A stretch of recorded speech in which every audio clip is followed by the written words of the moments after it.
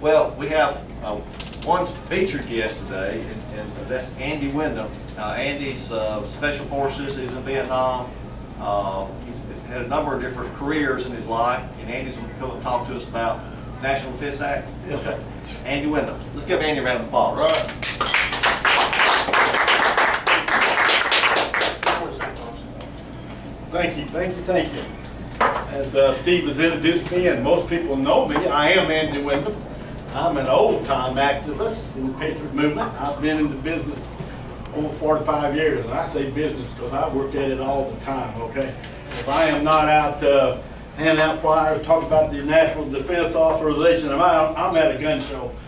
Now, I usually at a gun show three uh, week, weekends out of the month, so I, I, I have, I think I'm a professional, okay? I would like to, uh, this after, uh, this morning, speak on the uh, National Defense Authorization Act. And this is very important. I realize that most of uh, you gentlemen are aware of what, uh, of this is, but I want to go back through and tell you exactly, make, bring everybody up to par, okay? The National Defense uh, Authorization Act was actually signed on the 31st of December. Think about that, the 31st of December, 2011, okay? It was, uh, it had 919 pages, okay? And for the most part, it dealt with the uh, cost of the Afghanistan and the uh, Iraqi war, okay? Sandwiched in between this 919 um, uh, pages was the two things we're concerned of mostly, okay, is section uh, 1021 and 1022. And 1022 said that, um, that uh, the president uh, uh, can, can uh, upon the orders of a president, okay, one could be arrested by the military without a warrant, number one, held indefinitely, number two, and with, um, uh, and without a trial, number four, in an unknown prison. Now, my friend, that's treason. Any way you cut it, okay? This is un, this is un-American, okay? Uh, Excuse me, is that for terrorists or is that just for Americans and all Americans? All of us. Well, let me, let, let me uh, finish if I may, okay? Fine with it. You'll see how, you'll see how deceptive this is really is. As a matter of fact, all unconstitutional uh, programs throughout our country, okay, or in our country, okay, have to be uh, brought to us in a deceptive manner, okay? And this certainly was, okay? Um, let me say that uh, uh, Glenn and I was at a breakfast uh, Saturday with Lindsey Graham. And we went out and made a circuit, talking to everybody, patting everybody on the back, okay? Um, he finally got around to us, okay? Glenn uh, asked him about the National Defense Authorization Act, okay? And he proudly said that he wrote this section, okay, 1021. He proudly, okay? Um, I'm trying to get a word in edgewise, okay, and uh, tell him about, and he didn't, he doesn't miss a bit, bit, uh, a beat, okay? He just, uh, matter of fact, I, I said, uh, Mr. Lindsay, are you aware that, uh, Mr. Graham, are you aware that, uh, there's opposition to this? Didn't, he didn't even miss a beat, he says, but not, uh, not, I think he said, not if I can help it. This is, this is sad, okay? Uh, Two months ago, at a Republican Party, and I'm very active in the Republican Party there in Aiken, uh, Joe Wilson spoke. Uh, One, again, he was the last speaker, okay? No questions was asked about him, okay? Uh, During the question, after the, uh, the talk was over, I approached him, okay? And uh, I said, uh, when I approached him, he said that this was a letter to the editor I'm gonna send it to, to, to, to, to the letters, okay? And I asked him the reason why he signed off, okay? Of the law, okay? These are the quote words he said, okay? I was told that it did not pertain to the American people. Now let's think about that, okay? I was absolutely shocked, okay? I was told that it did not pertain to the American people. The fact of, the fact of the matter is, okay, he didn't read it.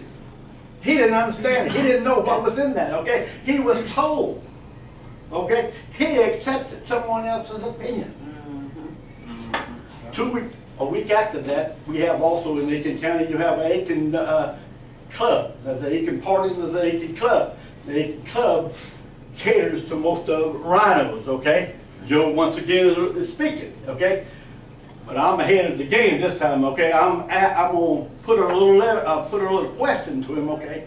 That he will have to answer to all these people that he spoke to, okay? And the question that I asked him, okay, was that now that the state of Virginia rejected the N, uh, uh, National uh, Defense Authorization Act, are you proposed to say that you made a mistake? Now, I wrote this out, everybody was aware of the secretary there, which was a guy, a councilman from the city of Aiken. They was aware of, uh, of the question, okay? The fact of the matter is, what- after everything was said and done, that question was not asked. When, uh, after the uh, speech was over and I went up to uh, the president, he said, Andy, I don't know what happened. Uh, I don't know what happened. I went up to the secretary, and said, Andy, uh, I didn't understand the question. Oh, my friend, I said, uh, I hovered up off the uh, floor about that much. I said, you didn't have to understand. Fact of the matter is that you did understand, okay? Your wife and a fellow Republican was at, at that table. When I walked away from that table, I asked you if you understood. And you said it did, okay? So I grabbed the, the little flyer from the, um, about the, uh, the state of Rege- uh, Virginia rejected it, okay? Oh, now I understand it. Oh, God, I said, you liar. You knew exactly what I said, uh, uh, meant to say, okay? Uh, that afternoon, Tony, the president, was on the telephone calling me, said, Andy, I don't know what happened, I apologize to you, but we did give the question to uh, Joe Wilson, and he will follow up on it, he will get back in touch with you. Well, this is about two months later, okay? I'm still waiting for that call, okay? Fact of the matter, he's not gonna call, okay? That's just the fact of the matter is, okay? Let me say this, okay? U.S. District Judge, let me read this for verbatim, okay? U.S. District Judge Katrina Forrest ruled that it was unconstitutional, talk about the uh, DAA, okay? She said, these are her words, in the vagueness of section 1021 does not allow the average citizen or even the government itself to understand this type of defendedness to which our citizens are entitled to and what conduct comes from within. So this is ruled by U.S. District uh, Judge, okay, this is unconstitutional, okay? Um, I might add once again, oh gosh, I wish I'd handed these things out. Please hand this out, if you would. God. Show you how, I showed you how squared away I am.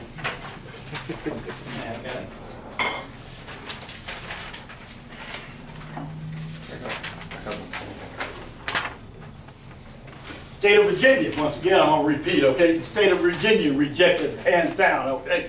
Said it was section ten twenty-one is unconstitutional, okay? I've handed out,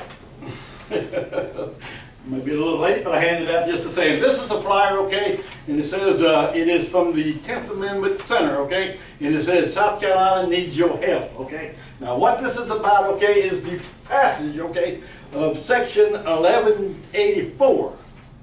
1184 is in the Senate Finance Committee. These are the gentlemen in our state, okay, the the responsibility to, to um, bring this to, uh, to the Senate, okay, and pass it. Now, I've called every one of them, there's only one gentleman that rejected it out and out, okay? The rest of them was in agreement, okay, that this needs to be uh, forwarded, okay? Uh, Nikki Setzler, which is my uh, senator, okay, he personally uh, emailed me and said that, um, to the fact that, uh, and it is a good idea. Unfortunately, it was a little late this session, okay, but we'll bring it up next, next session. Ladies and gentlemen, this is a, this is something that can be won. It can be won down here on the local level, okay? We ought to do our very level to, to contact these people and those of us around us, okay, and contact them, okay, and spread this word. This is no more than treason as far as I'm concerned. Um, Please, uh, take that, please, uh, um, understand and comprehend what's going on. I wrote in my letter to the editor, okay, I said, let me encourage you to uh, call your state senator to sign on to Bill S eleven eighty-four, which nullifies the section of the NDAA which authorized the in- indefinitely detention. And I added, okay, please, I'm gonna say that again, okay? Please do not say any, do not believe anything that I have said or, or I have wrote. Now, this is a letter to the editor, this is says, please do not uh, believe anything that I have written or said unless you verify it yourself. In this case, a good site, and this is a very good site, okay? Go up on the Tenth Amendment Center, okay?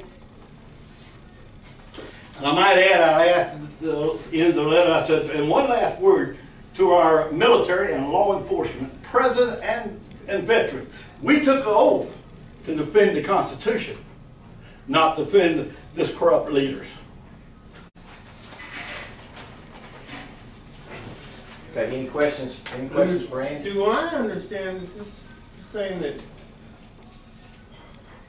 office employees are not allowed to defend our country? Say again, Is that what this is saying? say again. That, no, I understand this, that officers and, uh, of state organizations are not allowed to defend our country?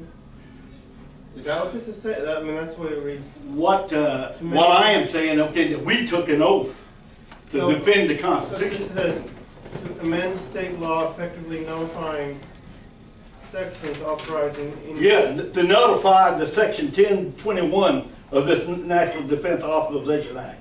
That's what this is about. The, the, nat- Keith, the National Defense Authorization Act, what it, what it allows the government to do is give the military the authority that just under sheer speculation, just because somebody may have a Ron Paul sticker on the back of their truck, or they may have been heard at a political rally where they were speaking out against the current government, that they can be arrested, put in jail, not given a lawyer, you do not have the right to a trial, and you can be hauled out of the country, taken to Guantanamo or anywhere throughout the world and never heard from again.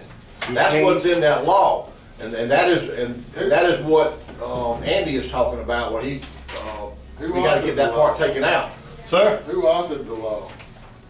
Lindsey Graham, uh, Lindsey Graham put that one section ten twenty-one in there, okay? It was signed off just recently, okay? Eddie reminded me earlier, okay, uh, that, uh, I don't remember the vote, okay, but every one of these representatives voted Yeah. again. Yeah, they, they just voted here within the last two weeks on an amendment.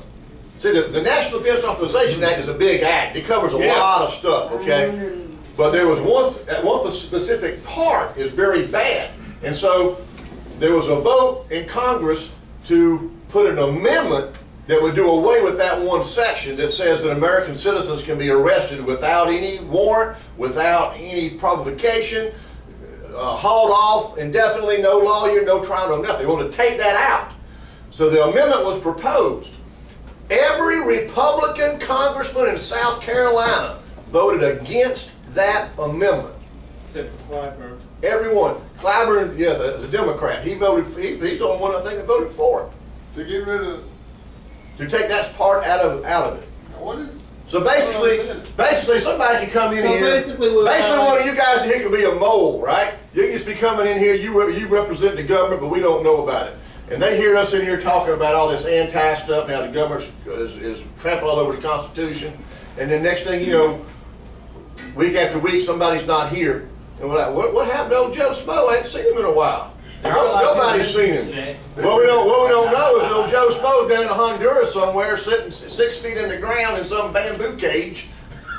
You know, where he done been hauled off. Nobody knows where he's at. So That's what that amendment says. So basically, we're violating the Fifth and Sixth Amendments. Oh, absolutely. We're violating the Oh, Fourth, absolutely. Fifth, Sixth, Seventh, and Eighth Amendment. And no doubt about it. so why would Mr. a Obama. Vote against something like that? I Because they because were, they just didn't like read he it. just said, Obviously, they they didn't- were told to. They Didn't were even told read it. to. They didn't They read it. didn't read it. Read the bill. They didn't read it. And see, and here's a, here's a reason why we don't read the amendments and the, and the bills. And this is the exact reason why we need the t- more attorneys in, in, in, uh, the White House, I mean, in, in, at Capitol Hill, at the State House, like, need a, a hole in their head. It's because the average person cannot read a bill. I talking with my representative the other day. He came by, he signed my petition for me, uh, Mr. Uh, Mr. Fry. And I was telling him, I said, you know, we need more attorneys up at the State House. We need a hole in our head. I said, because I sit down and I try to read these bills and I can't read them. I had, had to go buy a law's dictionary to try to under, try to figure out what they're trying to say. And he was in agreement with me. And I asked him, I said, when you're up there voting, making legislation, and you're reading these bills, I said, do they give you the, the legalese version and then give you the plain English newspaper version so you know what you're reading? He said, no, they don't. He said, if you're reading a bill and you don't understand what it says, you have to grab one of the lawyers in the area there, this uh, legislator, and ask them to explain it to you. Well, there needs to be a law that says that they need to put it just in plain English. Well, This is why- pay higher than a- this is why I asked you- it is. Why would they wanna write higher than that? Gentlemen, listen here. This is the reason why I ask you not to believe anything that I say or I say are, are right, okay? You, is your responsibility, okay, to find out for yourself, okay? The vagueness of these laws uh, are wrote, just like Ed- Ed- Eddie says, in legal is, okay, to deceive us intentionally. And this was absolutely intentional. Let me finish by saying this, okay? I've been in this thing for over forty-five years, okay? And I'm supposed to be a professional as you possibly can, okay? I used to have the DVDs over here, okay? And the reason why, let me give you an example why uh, these DVDs and this material that I uh, uh, have is so important, okay? I'm gonna give you an example. Of course, it's been many years, and vaguely I probably forgot most of it. There was a communist, a young American communist, okay, that, uh, that was in Mexico. He wrote a letter to his finance, the lady that he was about to uh, get married to, okay? He was telling her why, because she was sold out to be a communist in his, this view, worldview, okay, that he could not marry her, okay, because of her, his dedication to his cause, okay? Ladies and gentlemen, you and I should be the same thing, okay? Let me encourage you to buy some of my DVDs, okay? Learn them and put them, put them in here, okay? So you can take that information and give it to those around us, okay? Well, I sit down. Any questions? Yes, Have sir. there been any uh, examples where this law was used? No, I'm saying, take that, please. This law that you, that you're trying to strike down, uh, has it been exercised anywhere? Not to my knowledge, but this, this, uh, Well, I US thought it was in the case of that guy that was arrested up in Chicago, Padilla. Wasn't I'm not an aware of American citizen? I'm not aware of it, Yeah, he was held down in Charleston. You- Oh, yeah, yeah. uh, That was, is there any other Apparel or example, Something of that is nature. there any other example besides that where, where the law was Well, actually? it's, it's a fairly new law. The law itself was just Yeah. passed last, last fall. So it's, it's a fairly new law. Last And It was December. passed on then it could have December. been, it, it could have been, 2011. Yeah, December thirty-first, two thousand eleven. Yeah. It's only been in effect, what, five months? Yeah. There could, there could be people that have been apprehended, we just don't know. Then we don't, we wouldn't know about it. Seems to me it's been, it's built as a vehicle for a much, m- a larger type Absolutely. conspiracy than Look down the one or road. two people. I, I, yeah, look down the road and. Look down the road and see what this is laying the, the pavement for, okay? Not only the NDAA, all these executive, uh, uh, off, uh, executive bills have been passed, four hundred and fifty million rounds of ammunition bought by the, uh, the law enforcement, okay? Look down the road and see where this is carrying us. Okay, Said all that, thank you. They, Bill, they used it against that guy out in California that was complaining about the interest rate on his payday loan. He Uh, let's get Andy